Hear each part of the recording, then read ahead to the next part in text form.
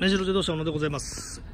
LS600HL 中期 UZ というグレードでございます、えー、無事故実走行ですがもっとタクシーということで距離を走っています。特にこの車はですね、えー、走ってます。46万1092キロですけど、えー、前これ乗られた方はですね、まあ、とんでもない方で1年間に12万キロ走るというですねたった1人でですね凄腕の方でございましてもうほとんどがあの一般道でなく高速道路での営業ですね。高速道路に乗せてお客様を乗せそして高速道路で戻るということで、まあ、別格なあれですね。あの長く乗って行ってる距離でなくもう3年4年でこの距離になってしまうという方ですので程度は非常に良いです、えー、リアのバンパー変えてます、えー、オーナー様が直接確認しましたらあのバックした時バイク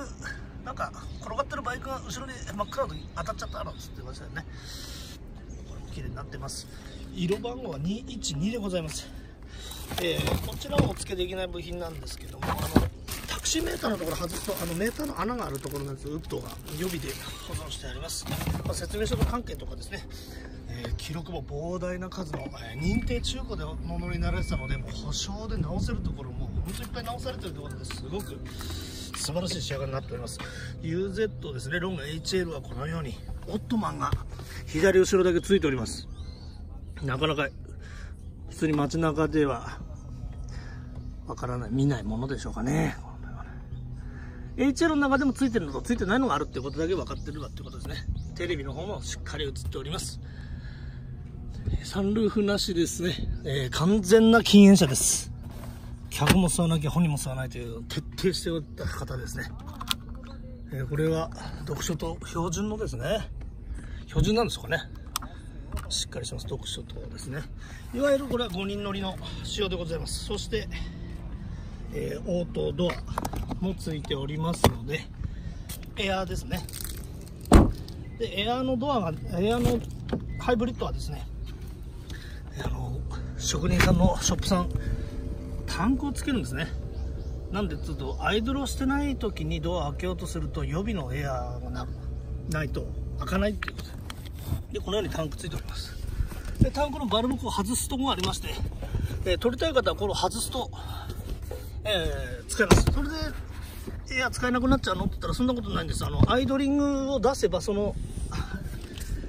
エアーで要はあのパーキングの時でもアクセルを踏むとエンジンかかるんでそれを使うと取ることができます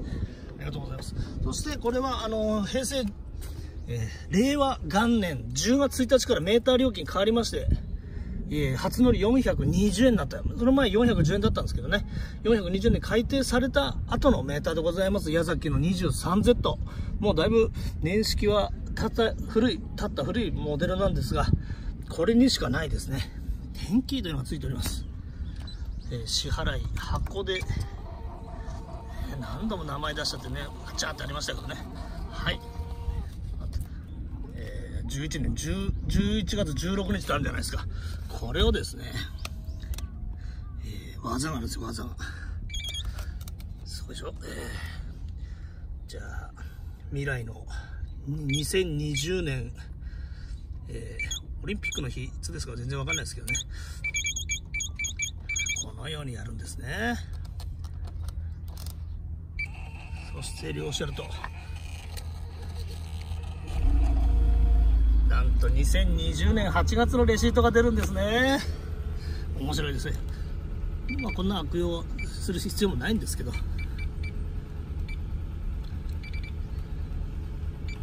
出るかな？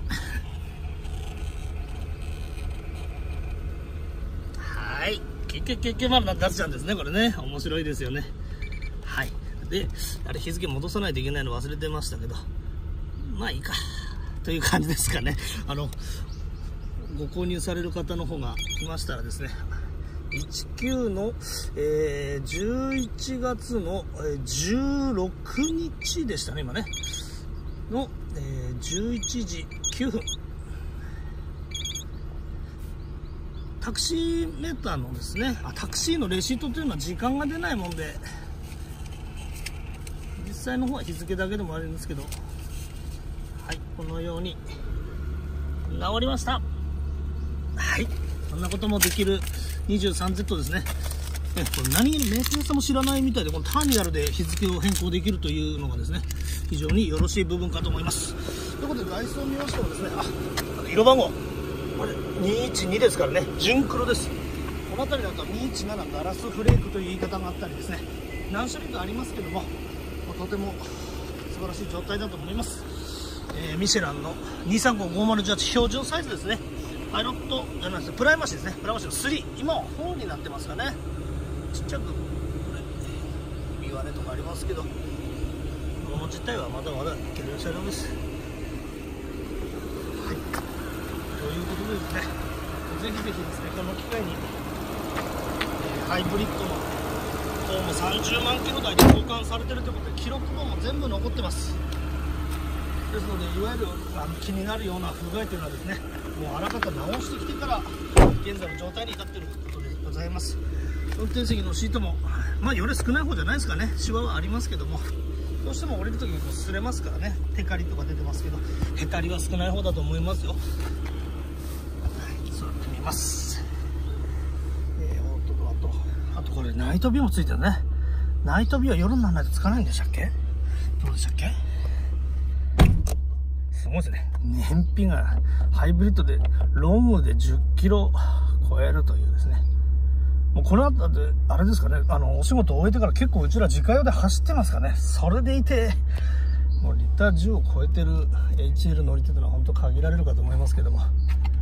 で、ドラレコ関係と、レーダー関係外してます。はい。まあ、後々、こちらも綺麗にまとめる予定ですね。ということでですね、一応のもう、このままの状態ではですね、一つ気になることはエンジンのマウントですね。マウントの方のヘタリ、エンジンミッションと合わせてですかね。こちらの方で少しあの、音がですね、まあ、室内なので、室内じゃない、庫内なので、棒、少し音が大きいんですね。アイドリングの音が。で、これがもういつもの定番で、あのー、レクサスのメカニックさんにも聞いたんですけど、やはりマウントを変えることによってだいぶ変わると。車の中の振動が多いのではなくてですね、エンジンの方にその、例えばエンジンをこう始動した時とかね、ボーンっていう風になるんですよ。年式立ってくるとですね。それがマウント交換するだけでですね、普通にサラーンとね、排気量半分ぐらいになっちゃったんじゃないかみたいなね、感じにもなるんですね。これは不思議です。本当に変えると変わる。ですので、あの、今回は、あの、エンジンマウント交換して、それからの5納車ということになります。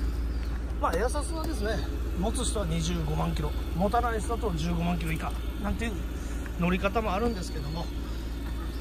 えもう新品同様の足ではないなという感じだけはご理解いただきたいなと思いますリブットもあるみたいなんですけどやはりあの純正の、えー、茅場ですか茅場のエアサスです。ね高いです HL になるとやっぱ1本89万消費税で9万近くなっちゃうんですかね。4本で40コーチ入れて44そこぐらいでしたかね。それで、まあ、アッパーマウント。アッパーマウントじゃないですね、えーですよね。フロントの2つ。アッパーアームとローアームです。460だと本当に劣化するんですけどね。まあその時はそんなに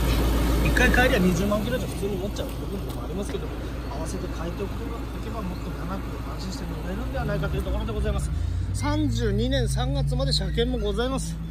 ぜひですねこの機会に。もっと距離が少なくて、えー、業者オークション出ることももちろん車というのはあります。ただですねこの営業車で使われた上で提灯の方でしたら東京のですねそのまま名前とアンドのアンドの方も配線残ってますんで、えー、ここからここからの線と台座もこれでマグネットですね。マグネット吸盤でつけるなりすればもうそのままできてしまうと。まあ今拡大してやっとお前車洗ってねえなという映っちゃいましたけどすいません。ちょっと長めになりましたけどリップですかね。ついておりますし楽しめる車ではないでしょうか、まあ、今年中に、えー、今年、まあ、令和令和元年ですね。の中に売れなければ業者オークションに出させて勝負させていただこうかなと思ってますが次回で乗りたい人がいたら本当にありがたいなと思いますありがとうございました目白自動車でした